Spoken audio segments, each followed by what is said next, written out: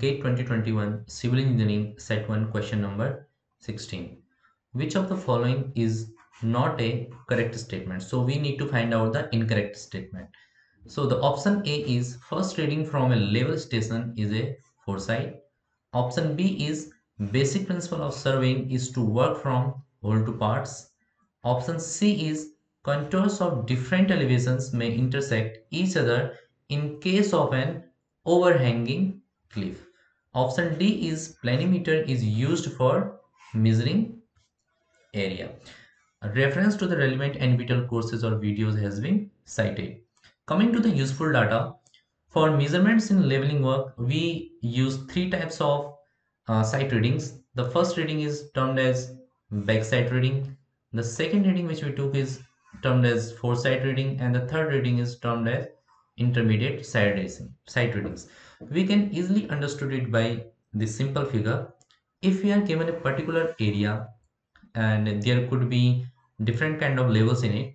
So if you put our theodolite here, which is a leveling instrument, and the first reading with respect to benchmark is termed as backsight readings and the last reading could be anywhere. If we let's say if we uh, let's say if we have put, kept a staff here so that reading would be termed as intermediate sight readings and the last reading would be foresight reading. At foresight readings we either change the instrument or we close the work. So at point fs is also termed as a changing point where we shift to the instrument or where we close our work. Coming to the second statement where we discuss about the principles of surveying. Normally we discuss about two principles of surveying. The first one is working from whole to part in which the measure control points are defined first and the largest measurements are taken with high degree of precision and smaller points are or smaller measurements are taken with a low degree of precision and if we use working from whole to part principle the error accumulation will be very low coming to the second principle of surveying which is about finding the location of a point with respect to two reference points in this principle let's say if we have a point a here and we have a point b here and we need to find out the location of a point C which is at some distance from point A and B. So what we will do that we will simply use chain and we will find the distance from point A to C. Let's say this is L1 and we'll find the distance from point B to point C. So let's say this is L2. So like that we can find the location of other point with respect to a with respect to two reference point. So this method is known as chain method like that we have other methods in it in it which are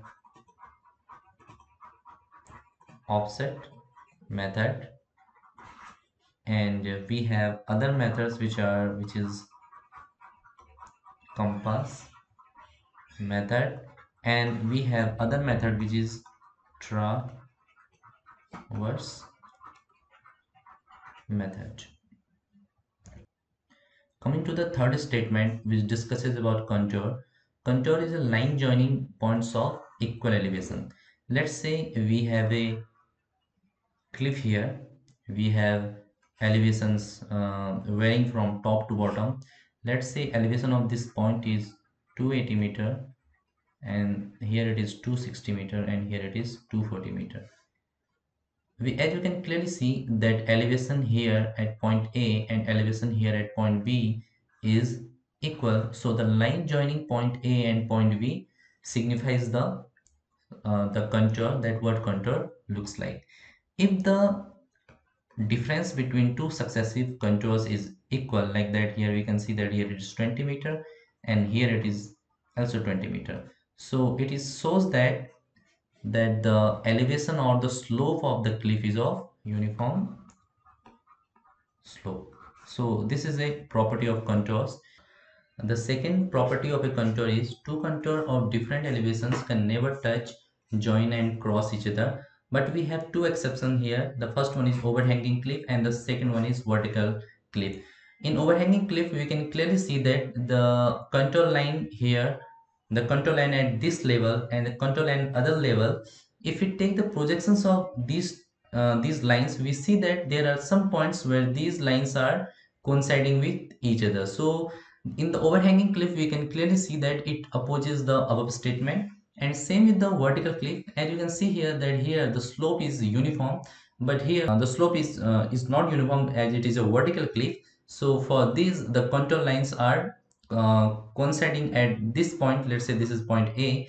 So here we can see that in overhanging cliff and in the vertical cliff the contours are matching or uh, touching each other at some point so which is uh, which is which is an exception to the above statement. Coming to the last statement which discusses about the planimeter. Planimeter is an instrument which is used in surveying to calculate the total area of any given plane and it is normally used in those areas where the area is irregular. So if we take a simple photograph or we if we have the map or or a photograph of a particular area by using the planimeter or by with the help of planimeter we can get the area of of that particular place.